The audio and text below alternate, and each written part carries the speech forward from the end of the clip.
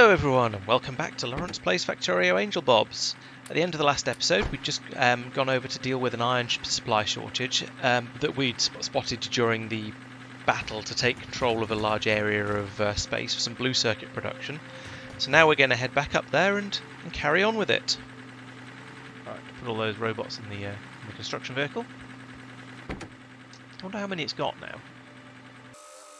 It's got 83 of the new ones, plus another 33 of the older ones. That's not too bad. It's it's it's nearly up to capacity. It can take a few more, uh, sort of 25 more than that, I think. Um, but still, it's uh, it's pretty good. It's most mostly mostly full. Right, here we are back at the front. so what we see here is there's um, a nest there, quite a big one, multiple multiple colours, right in the middle of my of where I'm trying to advance. So I think I'm going to put in a defensive line. Is that a defensive line? No, that's a station. defensive line, one of them. Like that. And belt to arm them like that. Uh oh, I'm in range. I'm closer than I thought. Open fire! Not at them, further up. Oh goodness sake, shoot the shoot the worm! Thank you. Jeez, need to get a turret about there.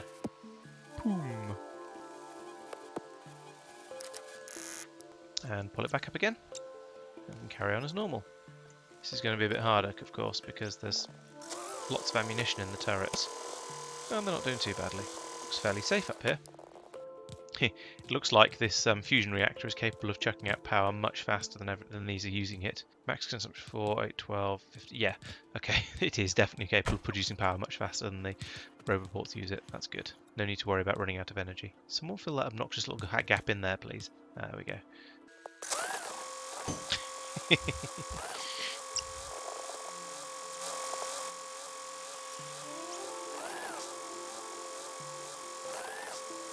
okay, looks like it's time to establish another front line. What's the range on that worm? I don't know. No. Okay, that wasn't too bad at all. Let's uh, see if we can wake up those. No, those ones are out of range.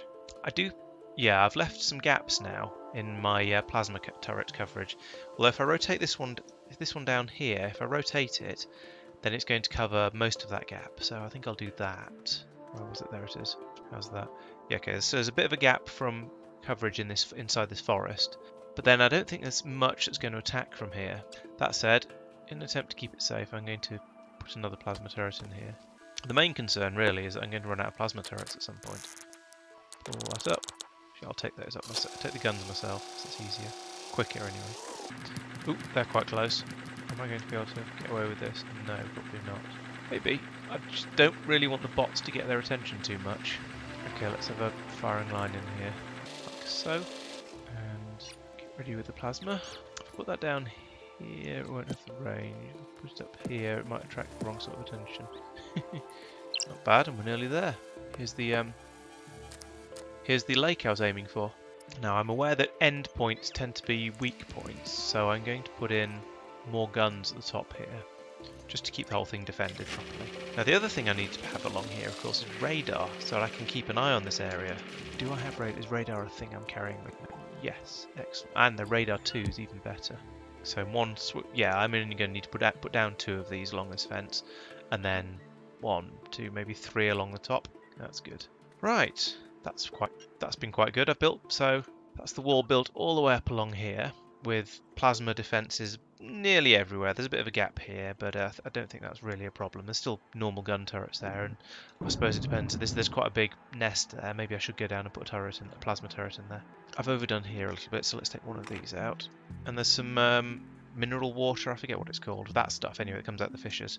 So yeah, I think I'll head back down, I'll put in another plasma turret here and a radar in somewhere around here. And then I guess I need to come back up and start building this wall across here. Now, depending on how it goes, I may build it just across to here and then down onto this lake. Or I might just claim this whole area uh, just to get it all, well, claimed.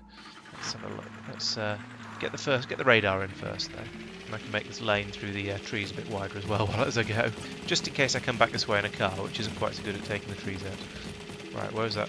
Okay, this is exactly where the uh, weak spot in the defences was. So put that in there. And radar, I shall need to put Well, actually, it doesn't really matter. There's enough overlap. Here will do. Nice. That's a lot of coverage.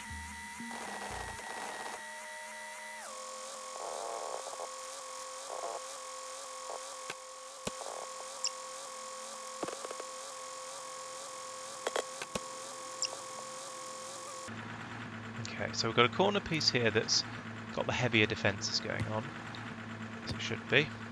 I think we're now going to need another strip of that vertically in order to get defense, in order to defend against this nest. So let's put this about here, I think. And we can have one of them and get some plasma down. Oh, we're not actually close enough. oh well, that's good defences when this inevitably happens. Wow, that massive blue one took a plasma bolt straight to the face and kept coming. Those things are ridiculously tough. Titan biter, okay. That would explain why it seems to be um, quite tough. Am I going to need to find some sort of Mark II plasma turrets at some point? It's interesting how much tougher, how the biters are, are so much tougher than any of the buildings they create, for want of a better word. The uh, the um, the worms and the spawners. And every every single building has been taken out with a single shot. But a lot of the biters, especially those big titans in the middle, they can take a couple before they collapse. Kind of ridiculous. oh, uh-oh. That spitter's still in range. There we go. No, I've not quite got the range to take out that. It's a tiny one, though. It seems almost silly to leave it. Alright, let's head back over there and take that one out. Oh, I used the wrong um, blueprint and I've made him just put a massive yellow belt all the way across here. I'm actually quite surprised I don't have any yellow belts. That was going to be my backup plan for when I run out of greys. Oop, and I've just run my combat thing into the middle of a biter base. That's not ideal. I'll just have to be a little bit careful as we go in there. Okay, so this up here is nonsense. I don't want to have enemies this close to my... Uh, an enemy base this small, this close to my front line. It's just silly. Is that the lot? Yes. And there's no way any more can come across there as well, so that's good. That one. And that one. Oh, what? Okay, that's still a bit further than I'm comfortable with. I'm worried those bots are going to get noticed. Oh no, they're just, just about okay. Let's get those turrets live at least. And then we'll another one of these. Oh, we've been spotted.